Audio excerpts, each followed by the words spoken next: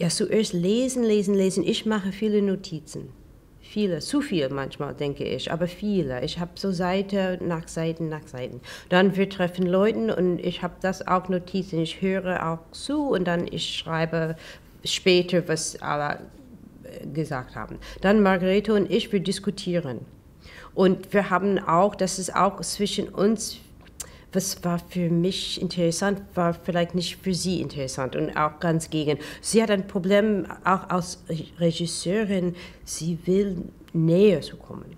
Und ich denke, wenn ich schreibe, ich habe nicht die gleiche Gefühl. Ich will sie sehen, aber nicht näher kommen. Und das ist auch eine, nicht Konflikt, aber das ist, wir haben ganz andere Richtungen, einen Mensch zu sehen, Margarete und ich, am Anfang. Und natürlich, das muss zusammenkommen. So, wir diskutieren und dann, ja, ich sitze so zum regelmäßig, ich bin eine von der Schriftstellerin, ich sitze jeden Morgen bei meinem Schreibtisch an um 10 Uhr oder 9 Uhr, das weiß ich nicht genau wann, und ich sitze da und ich sitze den ganzen Tag lang da, bis ich ja, hungrig bin. Das ist so, als meine Kinder klein waren, ich muss um drei aufhören, 15 Uhr, aber sie sind jetzt älter, das heißt, ich kann so lange sitzen, dass ich kann das das ich ertragen kann. Ja, das hat angefangen mit Margarete von Trotter. Wir waren in New York zusammen mit einem anderen Film, das wir zusammen gemacht haben. Und sie hat so ziemlich leicht gefragt, was denken Sie von einem Film über Hannah Arendt? Und ich habe geantwortet, so schnell, ja, fantastisch, das müssen wir machen, das ist, das ist eine großartige Idee.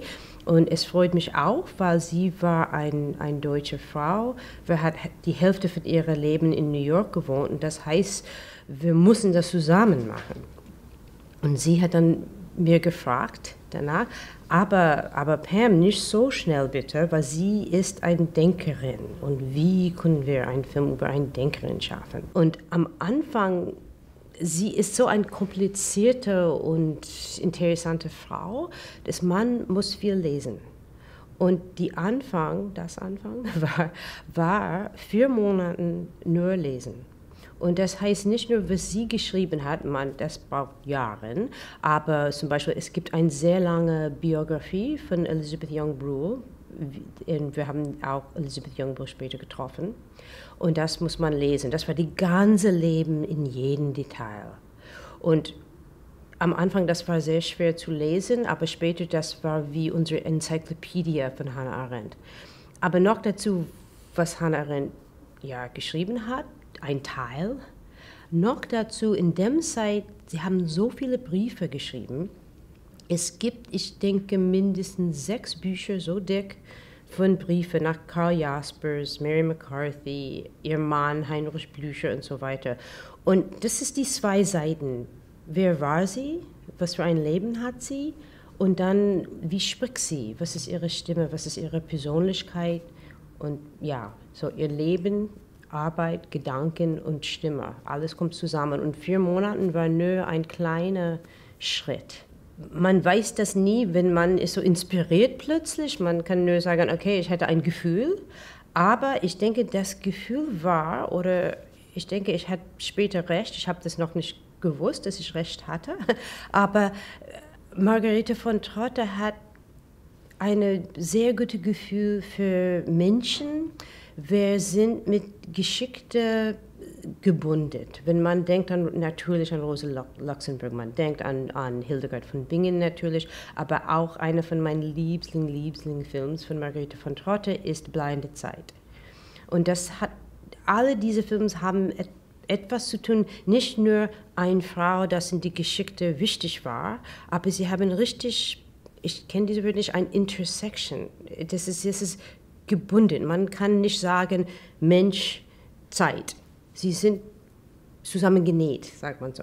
Und das, ich denke, mit Hannah Arendt, ich hatte das Gefühl, dass die Begegnung zwischen Margarete von Trotter und Hannah Arendt, das wird etwas Besonderes. Das muss etwas Besonderes sein. Das ist erstes, das ist auch künstlerisch. An die andere Seite, Hannah Arendt ist der Typ, wer hat eine von den wichtigen, am wichtigen Fragen gefragt was heißt böse zuerst und was für böse war das in, in der Zweiten Weltkrieg, in der Holocaust. Und natürlich viele haben das diskutiert, aber sie hat, she really touched the nerve. Und das habe ich auch in meiner Kindheit gespürt. Weil ich bin in New York erwachsen und ich habe die Name Hannah Arendt, das, das war immer eine leidenschaftliche Name. Viele von meinem Hintergrund haben sie natürlich auch gehasst. Als Kind, ich habe nur gespürt, sie war in Jerusalem und sie hat was schrecklich getan. Aber ich hatte als Kind keine Ahnung, was das heißt. Und so das war an beiden Seiten, das war etwas in meinem Hintergrund. Mein Vater war Deutsch und er ist von Deutschland geflohen in 36 und war Professor, Philosopher. Er war ein Philosopher und deswegen Hannah Arendt, das war immer ein Name, das interessiert mich, besonderes mich. Aber noch dazu, nochmal, diese Begegnung zwischen Margarete und Hannah, das war für mich eine künstlerische und historische Möglichkeit. Das kommt vielleicht nur einmal im Leben. Das Problem war, es gibt nicht so viele Leute, wir haben, wir, wir waren noch am Leben. Wir haben Hannah Arendt getroffen. Aber es gibt ein paar, und das, die waren für uns sehr, sehr wichtig. Zuerst haben wir Lotte Kühler getroffen, die ist bei Julia Jentsch gespielt. Und sie war in dem Zeit, als wir sie zum ersten Mal getroffen, vielleicht 85. Sie ist so neulich leider gestorben mit 92. Und sie war eine hervorragende Frau. Fantastisch, so am Leben bis zu Ende alles gelesen, jeden Film gesehen. Sie hat sogar Barbara Sukovo in, Vision auch gesehen und geliebt. Am Anfang, sie hat ein Foto gesehen, hat gesagt, das kann ich nicht vorstellen.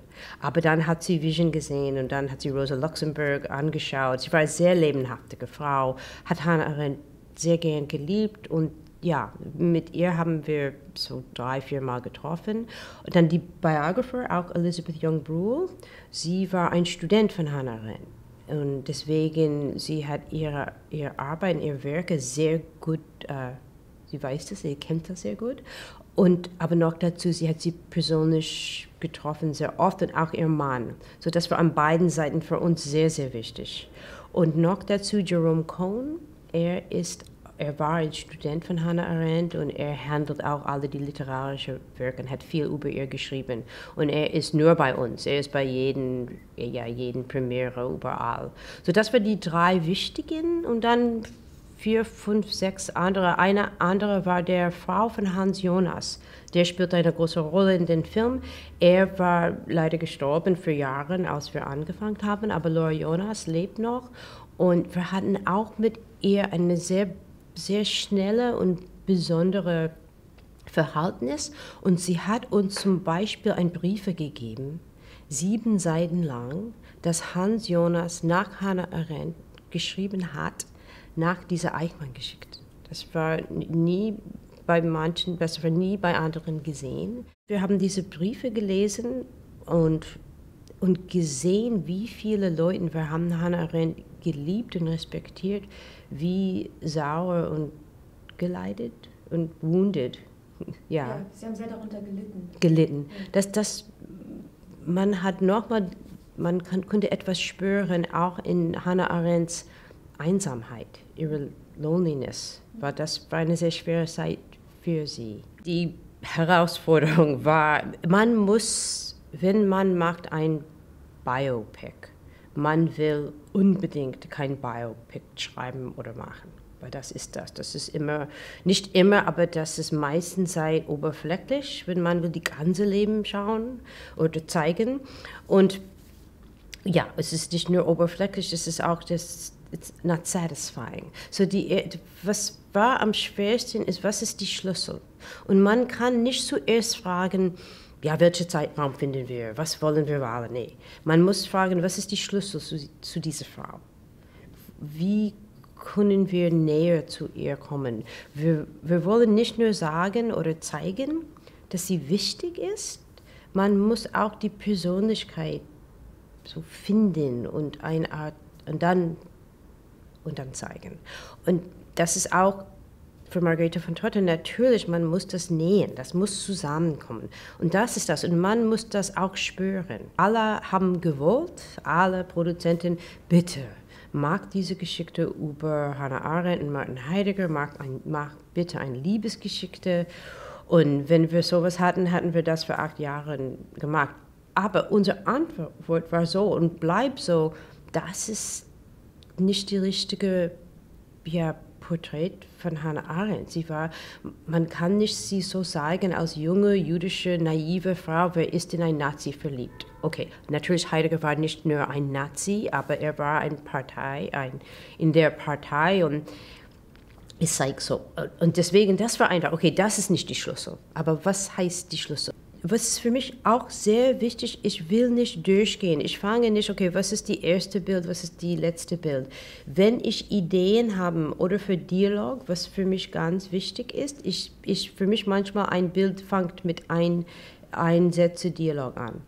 Und ich schreibe das. Ich schreibe oder ein Bild oder ein oder, oder nur Dialog. Manchmal zum Beispiel, dieses Verhältnis zwischen Mary McCarthy und Hannah Arendt. Ich habe die Briefe alle gelesen und wir haben immer gewundert, wie wichtig muss sie sein und wie ist das. Aber ich habe viele von unseren Bildern geschrieben, nur von, von meiner Fantasie, wie sie zusammen waren was sie diskutieren hat.